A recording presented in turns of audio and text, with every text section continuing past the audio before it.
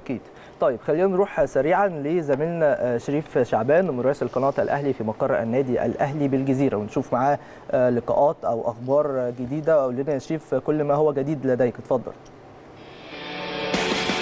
تحياتي ليك يا زميل أمير من جديد طبعا وضيوفك الكرام ولكل مشاهدي قناة الأهلي في كل مكان. بالفعل إحنا هنا في صالة راتب باشا طبعا مجلس الإدارة بالكامل يمكن رئيس مجلس الإدارة الكابتن الكبير الكابتن محمود الخطيب ونائبه مع الوزير العمري فاروق أمين الصندوق طبعا الأستاذ خالد الدرندلي وباقي أعضاء مجلس الإدارة فوق السن وتحت السن الكل في انتظار معالي وزير الشباب والرياضة الدكتور أشرف صبحي لافتتاح الصالة الكاراتيه المخصصة طبعا للتدريب. يعني زي ما قلت لك يا زميل أمير يمكن الصالة صالة الكاراتيه بتتسع حوالي 600 لاعب لفرع أعضاء النادي طبعا النادي الأهلي بالجزيره صالة تدريبيه على اعلى أعلى مستوى يمكن من كل التجهيزات. صالة مكيفة صالة بها مدرجات للجماهير. صالة بها sound system صالة فيها إضاءة LED صالة يمكن بساط على اعلى على أعلى مستوى. يمكن صالة مواكبة فعلا للتطور الدولي في لعبة الكاراتيه. مجلس الإدارة بالكامل منتظر وصول طبعا وزير الشباب والرياضة لافتتاح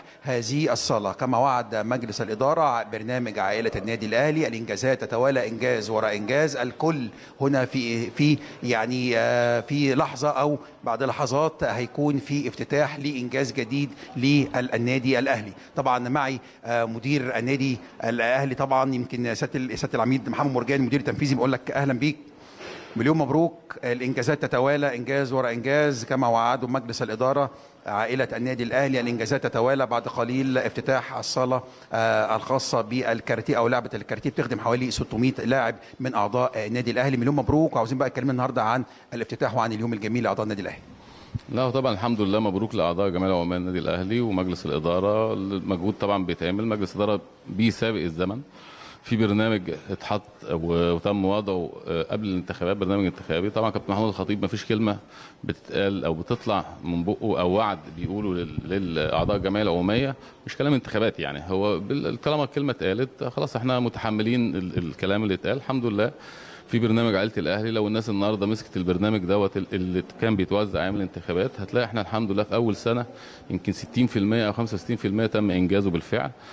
كان من ضمن ال ال ال ال البرنامج عائلة الأهلي صاله الكاراتيه عشان خاطر كانت الشكوى دايما موجودة وخصوصا في مقر النادي بالجزيرة. يمكن مدينة نصر عندهم صالة الحمد لله رب العالمين بس كان فيها تطوير التكييفات بتاعتها وتم بالفعل برضو دي كانت أول مراحل خلصناها. النهارده صالة الكاراتيه اللي تم وعد أعضاء النادي الأهلي ولعبه الكاراتيه أسرة الكاراتيه بيها دي فعلا إن شاء الله بإذن الله كلنا موجودين وهتفتتح كمرحلة أولى. الأسوار خلال فترة قريبة جدا برضه هيتم استلامها بشكل كامل. ويمكن النهارده كان في جلسة رئيس النادي مجلس الإدارة كابتن محمود الخطيب مع محافظة القاهرة لأن طبعا النادي الأهلي محافظة القاهرة هو نادي المحافظة نفسه. ففي بيبقى موجود شراكة بين النادي الأهلي وبين محافظة القاهرة في الإعلانات الموجودة. وزي ما شايفين برضه الأسوار إحنا بنغير الشكل العام. الحمد لله رب العالمين مدينة نصر نفس القصة. برضه خلال أيام بإذن الله هنستلم منطقة الجلوس أو الحديقة الجديدة. اللي معمولة اللي فيها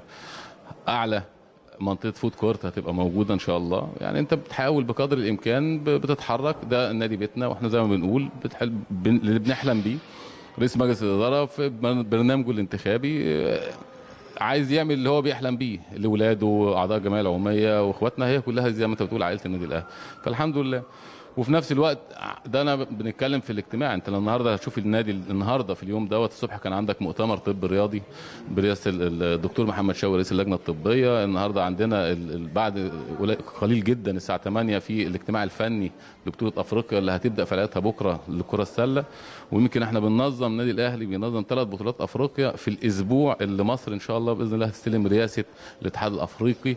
فأنت هتلاقي نفسك النادي الأهلي دوره المجتمعي ودوره الرياضي ودوره التربوي شغالين في كل الاتجاهات. هو ده النادي الأهلي. فربنا يكرم بيتم بخير إن شاء الله. النادي الوطنية نادي النادي الأهلي. طبعا يمكن النهارده الصاله بتواكب التطور الدولي. صاله على أحدث مستوى صاله مكيفة بها مدرجات لي. طبعا عشان الأسر تتفرج على أولادهم sound system إضاءة على أعلى مستوى إضاءة LED بساط على أعلى مستوى.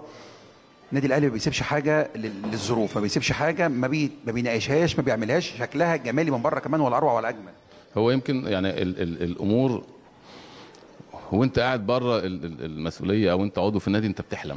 خلاص ولكن عشان تنفذ على ارض الواقع لا في مجهود وفي إجراءات وفي ورق.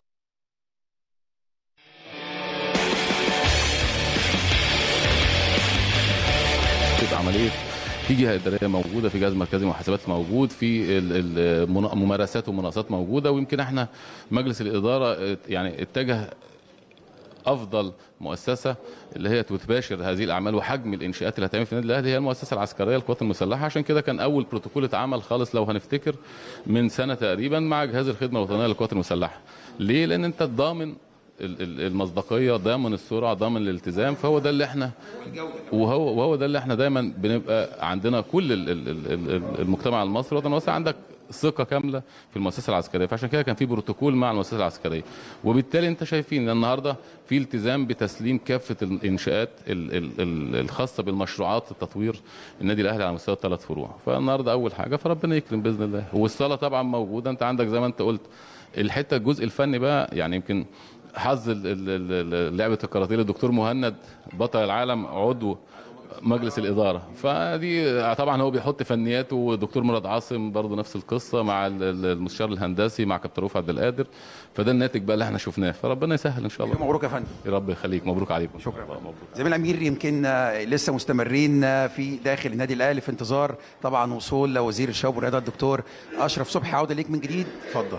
بشكرك يا شريف. شكرا جزيلا على هذا اللقاء الهام جدا مع العميد محمد مرجان. المدير التنفيذي للنادي الأهلي وفي